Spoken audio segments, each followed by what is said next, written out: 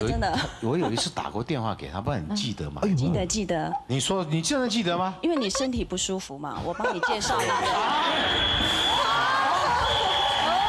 我帮你介绍一个按摩师，看病对不啊。对？介绍一个按摩师，然后我那时候为什么我说哪边不舒服？